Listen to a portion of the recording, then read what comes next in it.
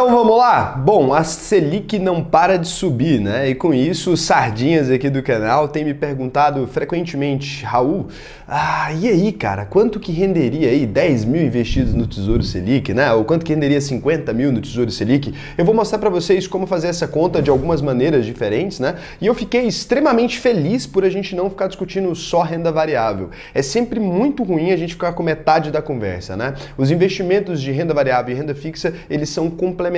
Mas antes de começar isso aqui, a gente precisa dar aquele recado extremamente importante. Se você né, está migrando para a renda fixa porque a bolsa está em queda, isso é uma tremenda de uma tolice, de verdade. Não tem como eu usar outra palavra, né? Adoraria poder ser mais é, político aqui, mas é que realmente não tem jeito. É uma ideia ruim, uma ideia estúpida. Porque quando a bolsa de valores está nos momentos de queda ali, é nesse exato momento em que você deve procurar focar o seu capital ali. Porque nesse momento você consegue comprar a mesma ação que você estava comprando um tempo atrás por um preço mais baixo, ou seja, você melhora a quantidade, a, o percentual que você tem daquele negócio ali. Então, presta bastante atenção nisso, né, para você não cair a, no conto do mão de alface, né, cara? O cara compra na alta, vende no fundo. Você vai sempre perder dinheiro assim. Ah, a bolsa estava a 110 mil pontos, tá na hora de bolsa. Tá a 150 mil pontos, tá na hora de bolsa. Ah, agora tá a 100. Putz, agora eu vou vender porque não tá legal é a pior ideia do mundo, né? Antes de mais nada, quem é Sardinha Raiz, já deixa aquele like na confiança.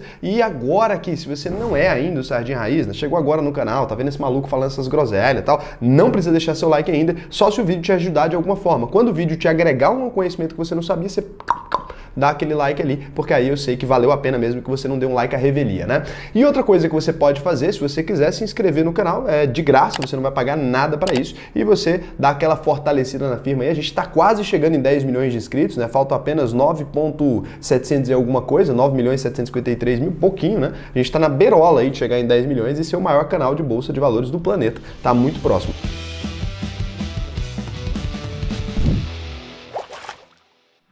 Então aqui a gente tem que ir direto para as contas, né? Pra gente não ficar enrolando, porque vai ser um videozinho meio explicativo. Não tem como fazer essa conta sem explicar muita coisa. É importante lembrar que o Tesouro Selic é aquele programa do governo federal, já expliquei algumas vezes como funciona, e que ele, apesar de ser um investimento de renda fixa, ele é pós-fixado. Quando a gente fala renda fixa, dá a sensação de que vai ficar 10% a vida inteira ou 7% a vida inteira. E aí seria muito fácil pegar uma calculadora aqui de juros compostos, abrir e fazer o cálculo, né? Quanto rende o Tesouro Selic em 10 anos, em 5 anos, em 3 anos? Só que não dá para fazer assim. Quando a gente fala da renda fixa pós-fixada, normalmente ela é atrelada a uma taxa, normalmente não, 100% dos casos, ela é atrelada a uma taxa que oscila ali, ou a cada alguns meses, ou até diariamente, né? Então, é uma renda fixa, o Tesouro Selic é uma renda fixa aqui pós-fixada, tá? E eu já expliquei aqui como é que funciona a diferença entre pós-fixado e pré-fixado. Se você quiser ver o vídeo que tá aqui em cima, eu já expliquei lá, tá bem explicado mesmo, não vale a pena ficar me repetindo aqui, senão o vídeo fica muito chato. A gente vai aqui então para decisão logo. Se o título é pós-fixado, o que, que a gente pode fazer? E aí tem um monte de gente que fala assim, Raul, o que a gente deveria pegar aqui é jogar cinco anos para trás, por exemplo. Se a gente quer simular três anos, cinco anos para frente, a gente joga cinco anos para trás e a gente fica sabendo quanto que é a média.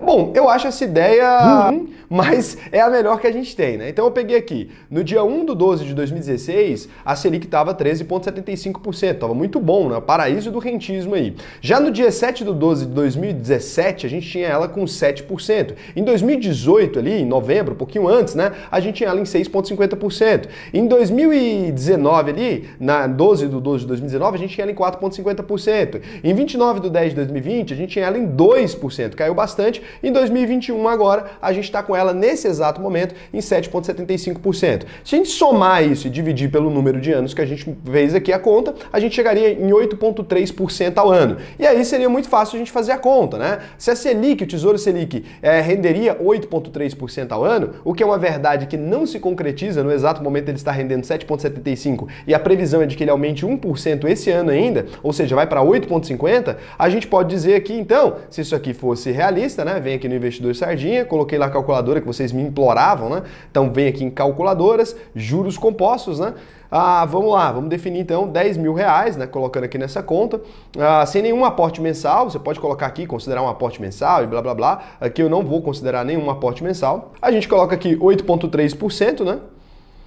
E a gente tem esse período durante três anos, vamos colocar aqui, ou durante, sei lá, quanto tempo eu peguei ali? Eu peguei desde, vamos cinco anos para a gente ver aqui. E a gente sabe Aqui tem que pôr o zero, porque senão ele quer considerar o aporte mensal, né?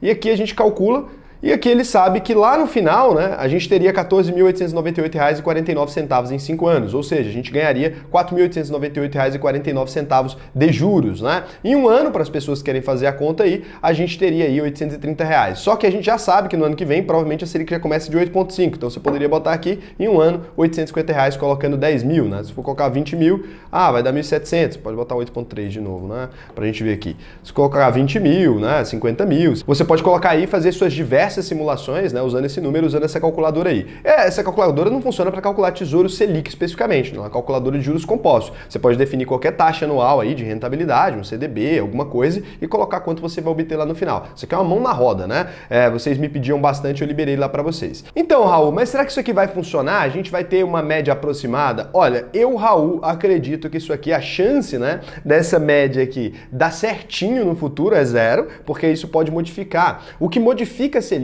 é a inflação. A Selic, a taxa básica de juros, como a gente pode chamar ela, ela é o principal mecanismo do governo federal para controlar a inflação. Então, quando o preço dos alimentos começa a subir demais, o preço das coisas do dia a dia, né, o IPCA, índice de preços ao consumidor amplo, começa a aumentar loucamente, a tendência é que o governo federal suba a taxa Selic para poder jogar a inflação para baixo, diminuindo né, a oferta de dinheiro no mercado, aumentando a taxa de juros nos empréstimos, as pessoas gastam menos dinheiro, com a menor demanda né, e a oferta ficando estável ali, a gente tem uma tendência a ver ah, o preço das coisas ah, novamente diminuindo, né? Porque tem uma demanda menor, o, a, a oferta de produtos continua idêntica, a gente vê os preços caindo, né? Se a oferta aumenta demasiadamente também, ou seja, uma produção recorde de soja, por exemplo, diminui o preço da soja porque tem muita gente vendendo soja. Então, é assim a lei básica de mercado, oferta e demanda. E quando a gente fala disso aqui, a gente está ignorando que são cenários completamente diferentes. É, 2016 era um cenário, 2021 é outro cenário, né? A gente tinha um cenário ali de 13,75% da taxa de juros, a gente chegou a 2% em 2020, a inflação começou a subir demais, o governo federal foi lá e aumentou a taxa Selic. Agora, o governo federal acabou de aumentar essa taxa Selic para 7,75 e a inflação ainda não deu sossego. Então ele deve subir mais um pouquinho ainda para 8,5 aí, que não é um pouquinho, é quase 1%, né? Tá subindo rápido para poder regular essa inflação. Só que a gente tem que se lembrar que ano que vem é ano de eleição para governo e é ano de eleição para presidência da República.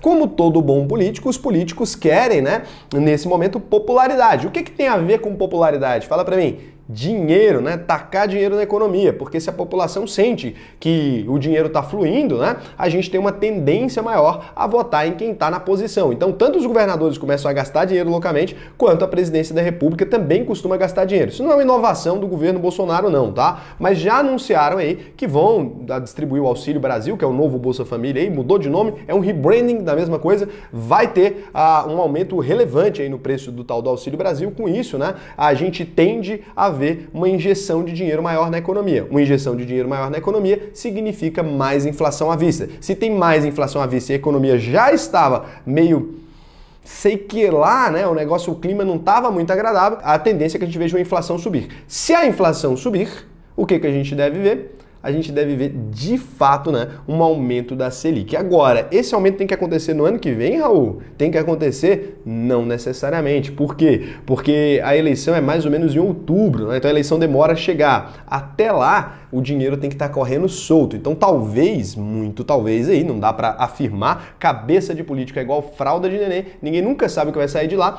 Provavelmente, né, o cenário que a gente deve ver é um estímulo na economia muito forte nos primeiros meses do ano, né, tal Auxílio Brasil, sei lá o quê, estímulo o ano inteiro. Ah, talvez essa taxa de Selic não aumente tanto para não aumentar o custo dos empréstimos e com isso a gente deve ver o ano que vem com essa taxa Selic nesse nível mesmo, né, 8.5. Duvido que eles sejam obrigados a aumentar muito mais, só se realmente a coisa ficar feia porque eles não querem fazer isso. Diminuir o acesso a crédito na sociedade abaixa a popularidade de qualquer candidato, né? Então não é bom para ninguém que está na situação um cenário é, caótico ah, na economia, né? Um cenário ali onde corte de gastos, ajuste de cintos, né? Então a tendência é que a gente veja ali ah, uma, uma gastança um pouquinho maior nesse ano, né? E com isso eles não devem aumentar tanta Selic para poder a população também estar tá na gastança. Agora, lá para 2023, 2024, a gente tem que ver essa Selic em algum momento ela vai ter que subir para recompensar, para compensar aí esse, essa doideira doideira que fizeram, né? Então a, a tendência é essa, pelo menos na minha opinião, né? E aí tem quem discorde, tem quem concorde. Pode ser sim que tenha um aumento na Selic ano que vem, mas é só se a inflação realmente sair de controle totalmente. Se eles verem que não vai dar para segurar. A tendência em ano de eleição é que não tenha, não faça isso. Ah, Raul, tá falando do sei do que do Bolsonaro e o Lula, meu Deus. todos os políticos, gente. A Dilma, Lula, Bolsonaro. Ano de eleição não é ano de ficar ajustando cinto. Os caras não estão nem aí, né? Porque precisa de ganhar a eleição. FHC, é, Sarney nem se fala, né? O pai da inflação brasileira. Obrigado, Sarney. 1.800% de inflação aí. Abraços, saudades, hein? Belo governo. E então. eu tenho que parar com essas coisas. Ainda vou arrumar um problema. Então, é isso aí que acontece. Agora, é, o que, que a gente pode fazer então, né? Já que não dá para confiar nisso, no cenário e tarará, o que, que a gente pode fazer na prática para a gente não ficar aqui só conversando fiado, né? A gente tem que fazer esse cálculo aí. Prometer o que é fazer, tem que fazer, né? Bom, já expliquei para vocês vocês poderiam usar o Boletim Focus ali reajustando esses cálculos de vocês, mas o que a gente pode fazer aqui é o seguinte. Então aqui vocês veem né, que lá em 1995 foi o primeiro ano do real em circulação, ele entra em, em em circulação em 1 de julho de 1994, né? Eu tava ali com um aninho, cara, exatos um aninho, eu faço aniversário no dia 2. Então, no primeiro ano que o real entra em circulação aqui, é, esse é o primeiro ano inteiro dele, né? Porque a gente tem que considerar que foi lá em, em 1994, mas o primeiro ano que ele entra, eles estavam tentando evitar a inflação, tinha uma hiperinflação no Brasil, né? O real entra em circulação no governo do Itamar Franco e as coisas vão se seguindo ali. E aqui, a gente tem uma Selic extremamente alta, ó, eles estavam desesperados para não deixar a inflação subir, né? Então, a taxa de juros foi para 38,71%. E ela vai caindo, ó gradativamente ao longo dos anos, até chegar nos anos 2000 com 16%, depois 2001 16%, 2002 19%. Raul, então na época o cara que investia aí no, num tesouro Selic da vida ganhava 19% ao ano sem fazer nada e sem risco. Era mais ou menos isso. O Brasil era o paraíso do rentismo, né? Isso aqui é triste, imagina você investir na bolsa nessa época, 21% da rentabilidade do Selic, é foda, né? É por isso que ninguém investia em bolsa nesse país. Nossa, que isca. Aí beleza, a gente tem aqui vários números. O que, que eu proponho aqui a gente fazer para a gente tentar chegar numa taxa média, né? A primeira coisa que a gente já fez foi descartar aqui o ano de 2020, que a Selic ficou em 2%, porque é um ano atípico no Brasil. Então a gente também pode descartar uns números maiores aqui, ó. Pode descartar 1995, foi 38. Aqui a gente tem 25, ó, o segundo maior também. A gente pode descartar ele, já descartamos ali o menor, né, e o maior. Então a gente descartou o 1995 e descartou também 2020 que foi o menor. A gente pode descartar aqui agora, ó, o segundo maior, a gente vê se é esse aqui. O segundo maior a gente descarta também e o segundo menor. Quem é o segundo menor aqui? A gente tenta descartar ele aqui também, ó. Então a gente pode descartar o segundo menor também. Acho que é esse aqui mesmo. O segundo menor aqui, a gente já chega no 5 aqui. A gente poderia descartar mais um aqui, 24, descartar o outro menor também. Mas não, acho que aqui a gente já chegou. Então a gente descarta algumas anomalias, você decide aí descartar mais ou menos, né? Você faz do jeito que você quiser. Acho que a gente poderia até descartar mais algumas anomalias aqui. Vamos descartar alguns que são muito anômalos comparado com o histórico do Brasil, né? 24, por exemplo, é uma taxa muito grande para o histórico mais recente do Brasil. Então a gente vê aí que é uma taxa diferentona, né?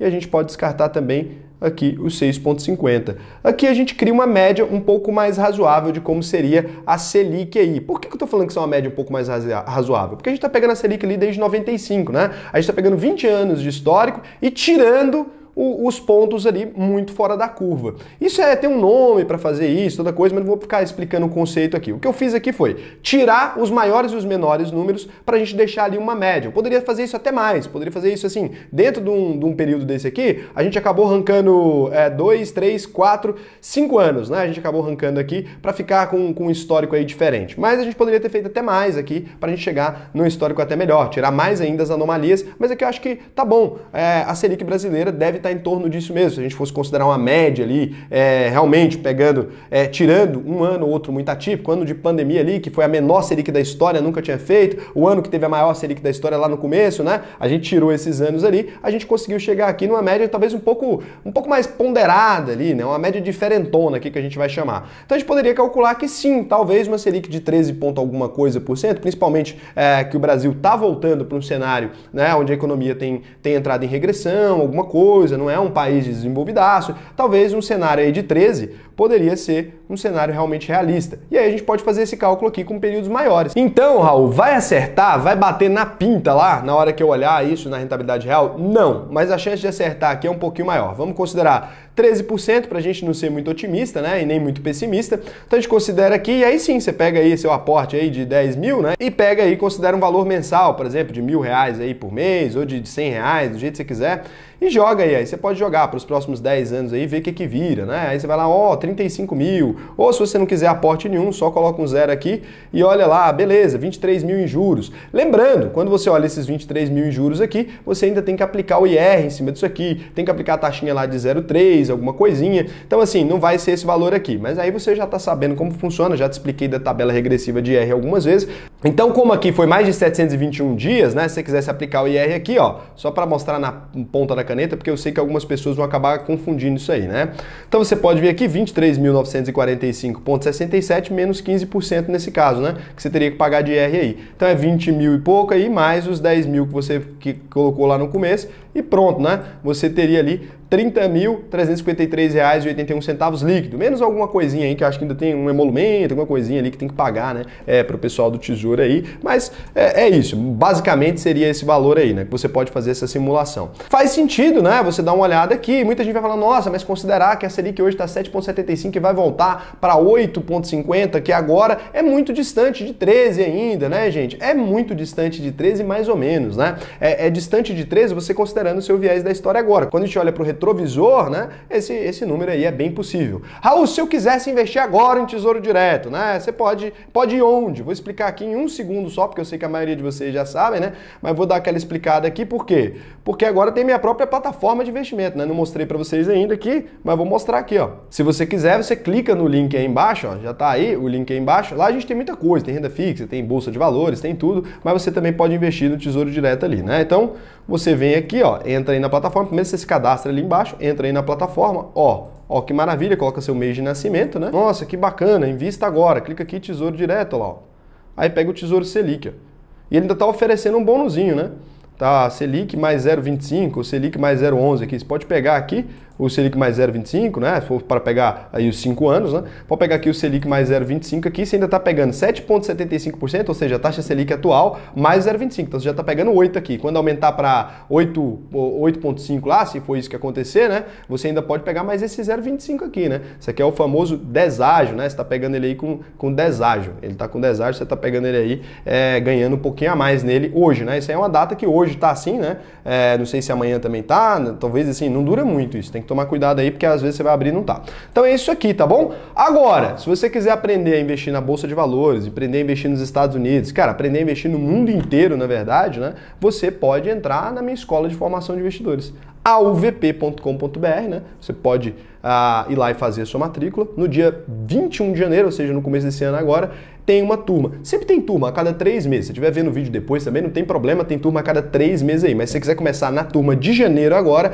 você precisa fazer sua inscrição quanto antes, cara. Ah, Raul, por que tem que fazer a inscrição agora? Porque se acabar as vagas, a gente não vende mais, né? A gente só vende para turma de abril. Aí depois, oh, só acaba, vende para julho, né? Então, se você tiver numa data aí que tem uma turma próxima, você pode fazer a matrícula agora e eu te ensino a investir tudo. Raul, por que tomar a decisão de investir com você aí? Tanta gente ensinando esse negócio na internet aí, né? Por que, que eu vou fazer com você e não com o fulano? Cara, a UVP é a única escola de formação de investidores aí que devolve 100% do dinheiro investido no final do curso se você não ficar satisfeito. Acha alguém que faz isso aí, pronto, a decisão tá dada, né? Então, um beijão para você e até o próximo vídeo.